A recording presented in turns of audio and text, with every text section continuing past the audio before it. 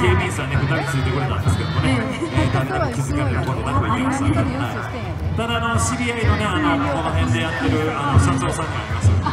見に来てるで言うて、はい、でもこの近くで布団太鼓見ましたから向こうの方で入り口にいてるところやっぱ目の前で見たら圧巻ですよね、まあ、ここで見るのもねありがたい一番いい特等席で我々も見てますけども。